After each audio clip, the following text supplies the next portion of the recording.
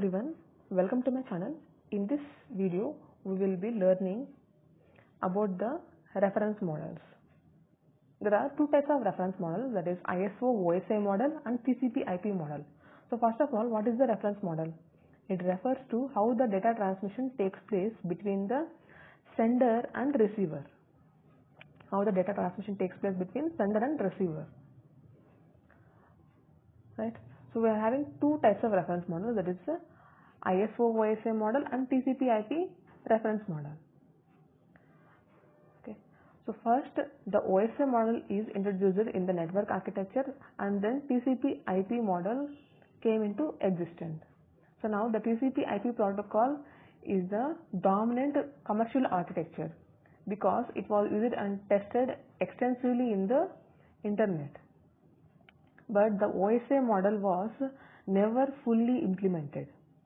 So in this video we will discuss about the ISO OSI reference model. So hi what is the ISO? ISO is the standards organization which is established in 1947 international standard organization and OSI is the open system interconnection model so it was introduced in the late 1970s an open system is a set of protocols that allows any two different systems to communicate with each other so regardless of its underlying architecture Okay. The purpose of the OSI model is to show how to facilitate, uh, facilitate the communication between two different systems without um, without the network hardware and network software of that particular system. So here the OSI model is not a protocol but it is a set uh, OSI model consists of set of layers that establishes the communication and transfers the data between the different layers of the system and it is very flexible, robust and interoperable. And remember one thing that ISO is an organization and OSI is a model, network model. So this is the architecture of the OSI model. The first layer is physical layer, data link layer, network layer, transportation, session layer, presentation layer and application layer. The higher layer, the first three higher level layers are called user friendly layers and the last three layers that is the physical layer, data link layer network layer are called network friendly layers and transportation is the middle layer. So the data will be represented in this in the format of packets in network layer frames in the data link layer and a binary bit format in the physical layer. And data is transferred from physical layer uh, from the physical layer of the system 1 to physical layer of the system 2 through the transmission medium which may be wired or wireless.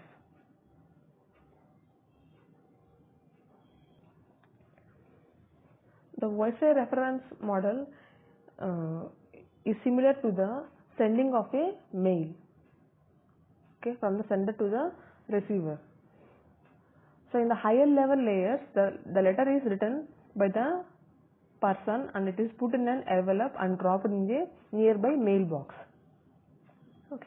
then the letter is carried from the mailbox to a nearby post office. Then the letter is delivered to a carrier by the post office. Okay?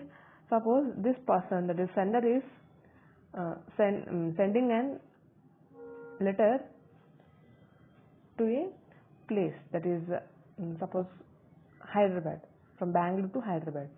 So sender is in Bangalore and receiver is in Hyderabad so he is sending a mail sorry he is sending a letter to the receiver so he will write the letter and it, he will drop it in a nearby mailbox that letter is transferred to the nearby post office.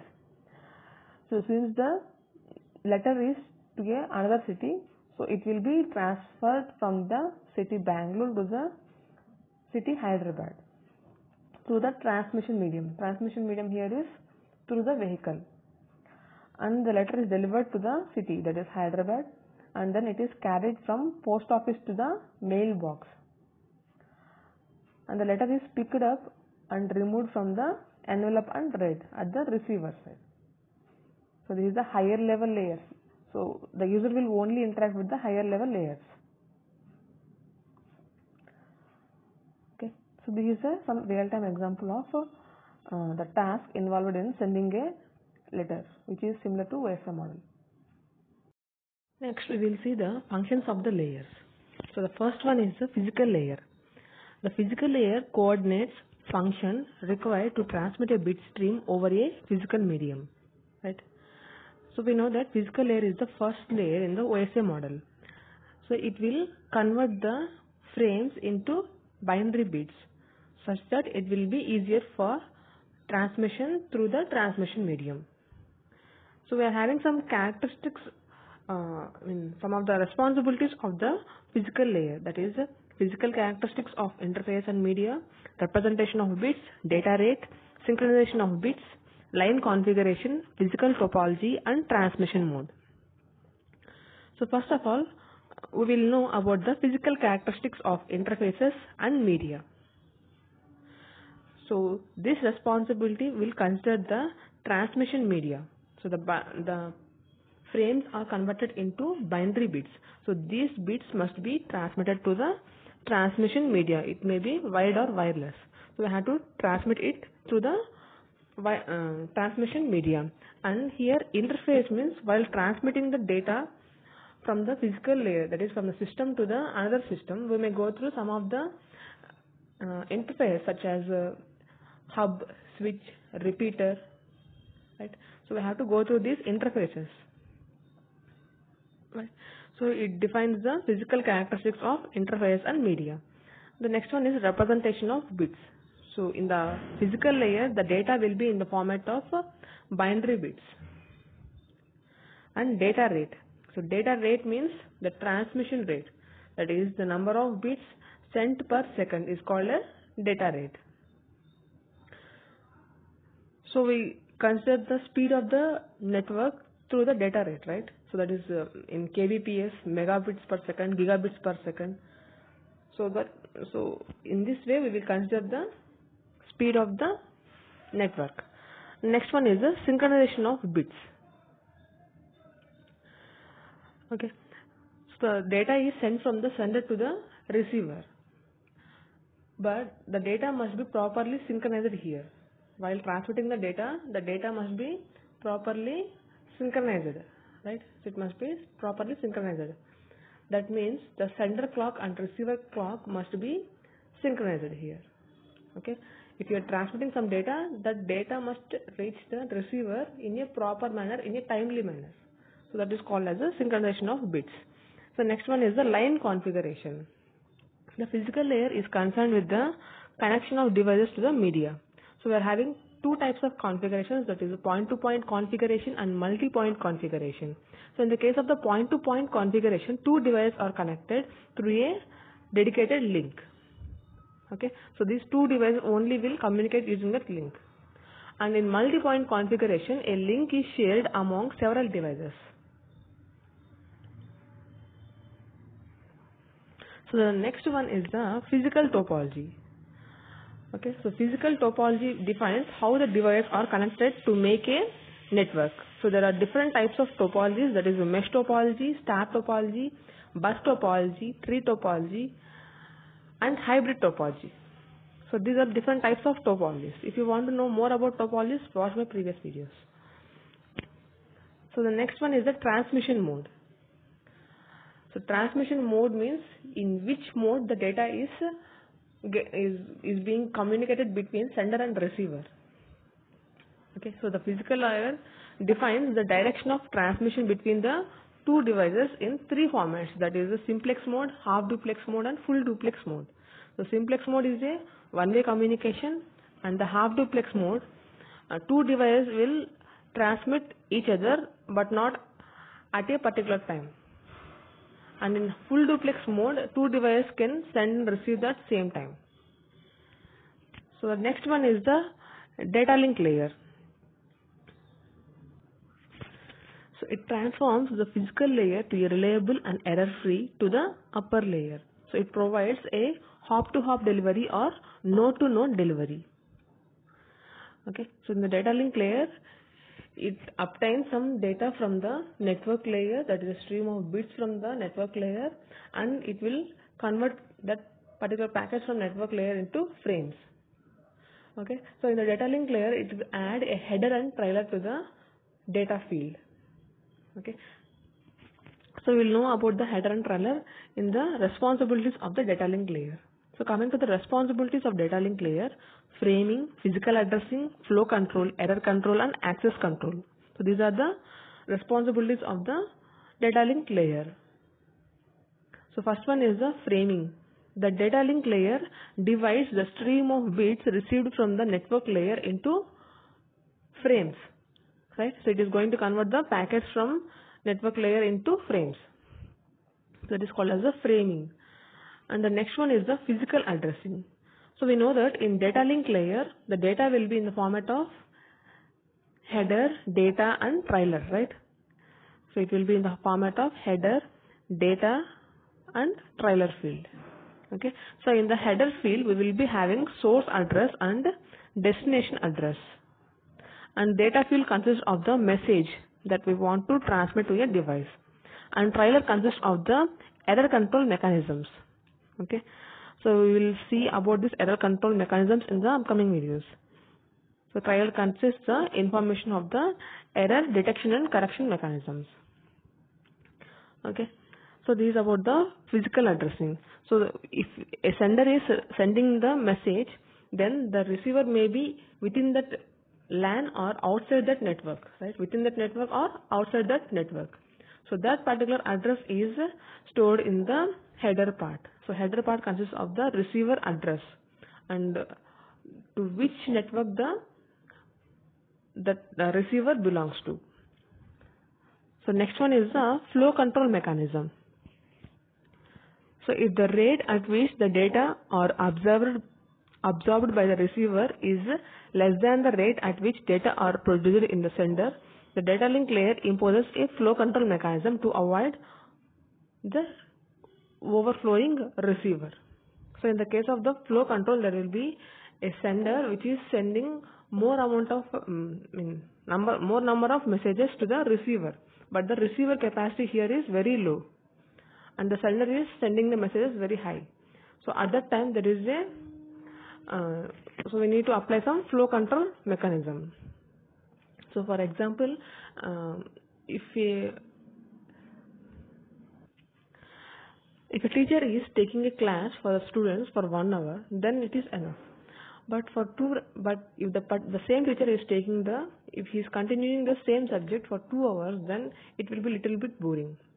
And if the same subject is continued for three hours, then it will be very boring for the students, and the students cannot understand or they cannot accept that uh, data, right? That information that comes from the sender, that is the teacher right? So this is the best real-time example of flow control mechanism. So here the sender is sending more amount of message than the capacity of the receiver. So next one is the error control mechanism. So data link layer adds reliability to the physical layer by the error detection and correction mechanisms.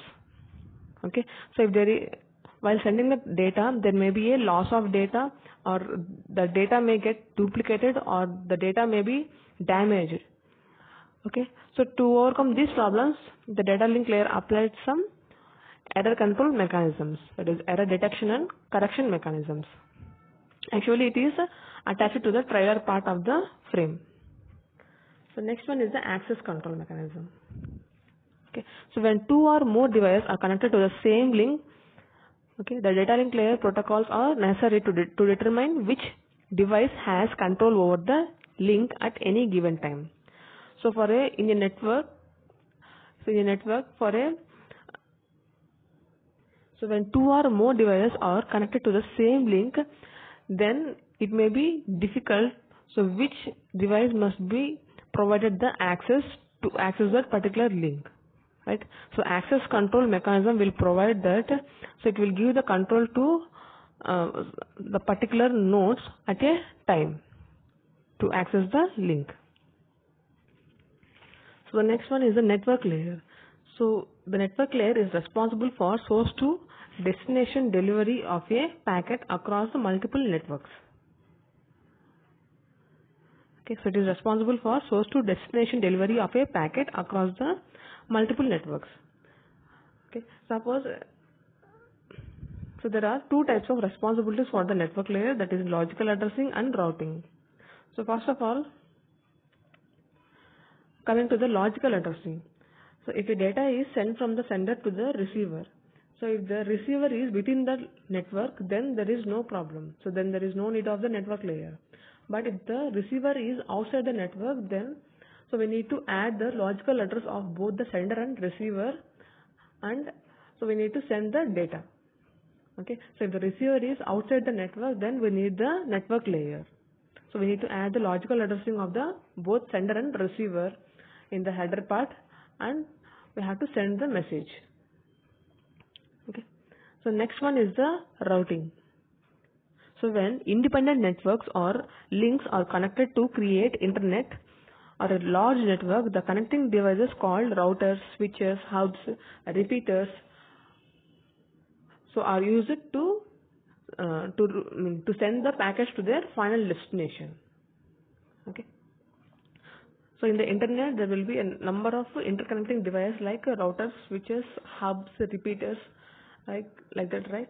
So these interconnecting devices are used to to route the packet from source to destination. So each internet internetworking device will be having their own properties. Here the network layer provides the end-to-end -end delivery whereas the data link layer provides node-to-node -node or hop-to-hop -hop delivery. So the network layer is responsible for the delivery of individual packets from source host to the destination host. Okay, so here the data will be in the format of packets. Next one is the transport layer. The transport layer is responsible for source to destination delivery of entire message. Okay, so here the message is transferred from the source to destination with the support of the transport layer. So it is a middle layer. Transportation layer is a middle layer. So transportation layer is responsible for process to process delivery of the entire message. A process is an application program running on a host, whereas the network layer, where the network layer consists of the end-to-end -end delivery. So here the transport layer supports the process to process delivery. It does not recognize any relationship between these packets. The network layer, it doesn't uh, recognize any relationship between the packets whereas in the transport layer so it is considering the relationship between the packets by applying the segmentation and reassembly. So some of the responsibilities of the transport layer is service point addressing, segmentation and reassembly, connection control, flow control and error control. So first of all the service point addressing. Okay, so we know that the transport layer is process to process delivery of the message. So process to process means a process means a program running on a system is called as a process. Okay, so the transport layer delivers the message from one process in a source to the another process in the destination.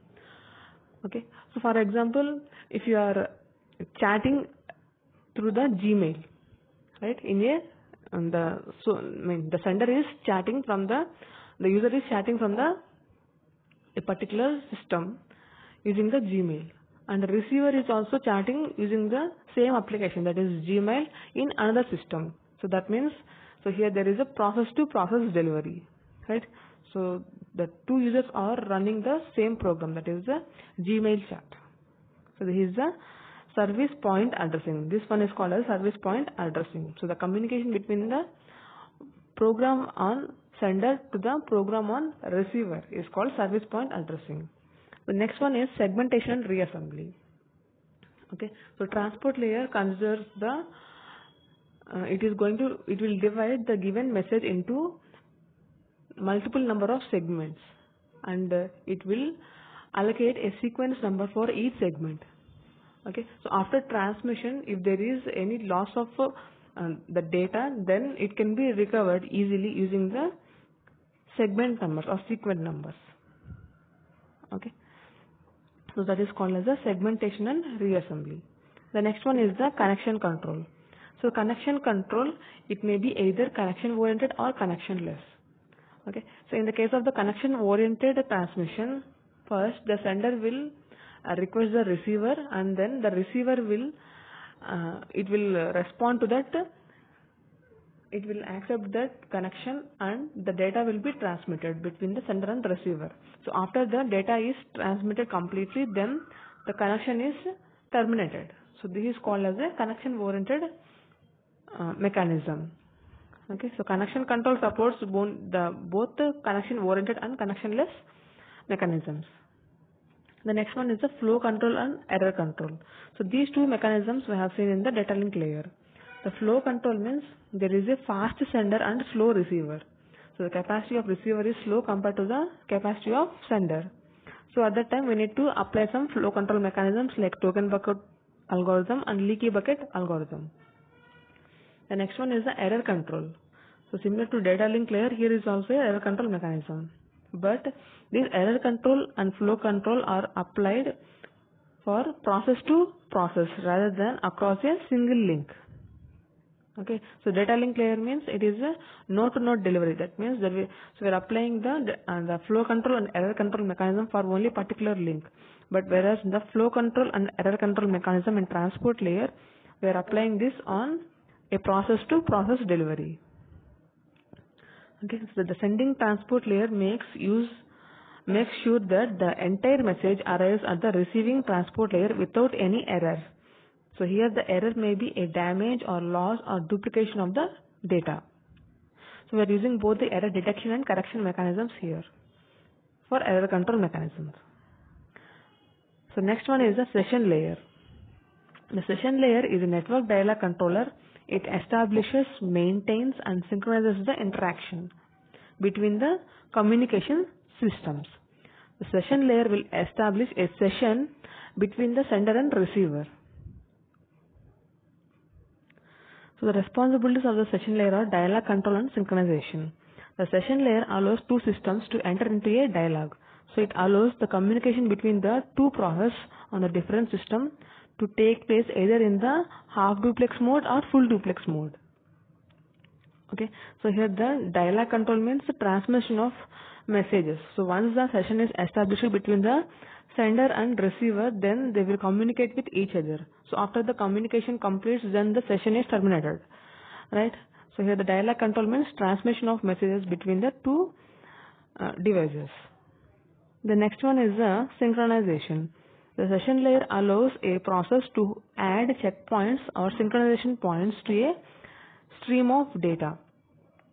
Suppose uh, you are downloading a document okay you are downloading a document with thousand pages. So while downloading at uh, after downloading the 500 pages then the internet connection is gone and the download is incomplete. Okay so by using the synchronization points or checkpoints so after connecting to the internet then the downloading will start from the 501 page to the 1000 page. Okay so because of uh, the synchronization points or checkpoints okay? So we can recover the download from uh, 500 pages to the 1000 page. So next one is the presentation layer. So it is concerned with the syntax and semantics of information exchanged between two systems. Okay? And the main responsibilities of the presentation layer is translation compression and encryption techniques. So here what is meant by translation?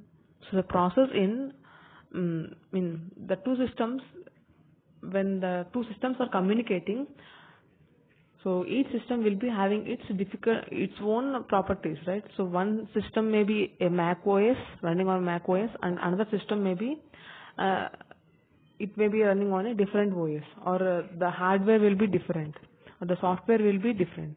So if the two devices are communicating it will, each device will be having its own properties right so because different computers uses different encoding systems, the presentation layer is responsible for interoperability between these two systems, these two different encoding methods.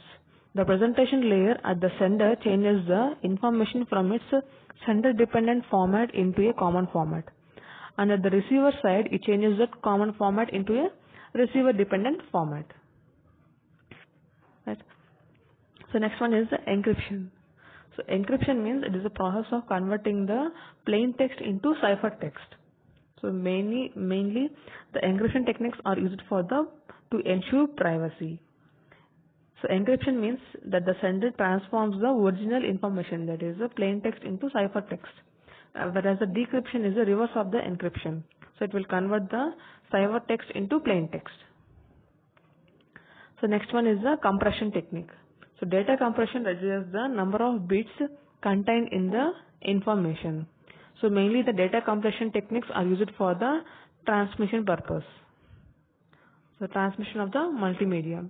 Suppose you want to send a video to your friend, then you will compress that video and then you will transmit that in the through the internet, right?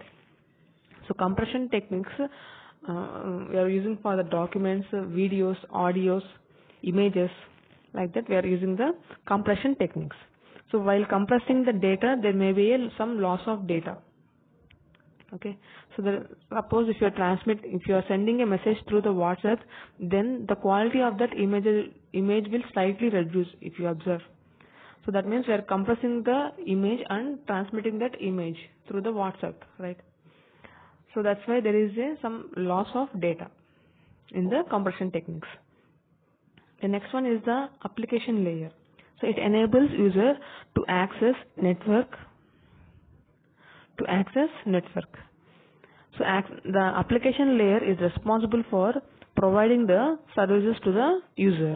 A user can actually interact with the the OSI um, through, he can interact the system using the application layer. So application means a program, right? A program or a software. So a user will interact with the this OSI model. I mean, he can interact with the system using this application application layer. So it enables the user, whether a human or software, to access the network. It provides user interfaces and support for services such as email, uh, remote file access and transfer, shared database management and other types of uh, distributed information services. So some of the responsibilities of the application layer are network virtual terminal, file transfer access and management, mail services, and directory services. So the first one is a network virtual terminal. So it is a software version of a physical terminal and it allows a user to log on to a, a remote host. Okay. And the next one is a file transfer access and management. So in this, the user is allowed to access the files in a remote host. That is, he can uh, make changes or read data or write data. Okay. So here the file can be transferred, accessed and managed, which is uh, located in the remote host. So next one is the mail services. The applic this application provides the base for the email forwarding and storage. And the next one is the directory services or domain services. So this application provides distributed database sources and access for global information about various objects and services.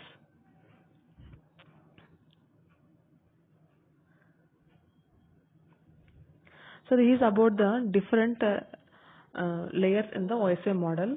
So if you want to uh, remember all these layers then there is a short trick that so you have to use so if you want to remember all the layers in the OSI model this is a trick so please do not touch Steve Smith alligator so here the P stands for physical layer data link layer network layer transportation layer sessions layer presentation layer and application layer okay so this is all about the different uh, layers in the OSI model. Thanks for watching my video. Please do like, share and subscribe to my channel. Thank you. Thank you.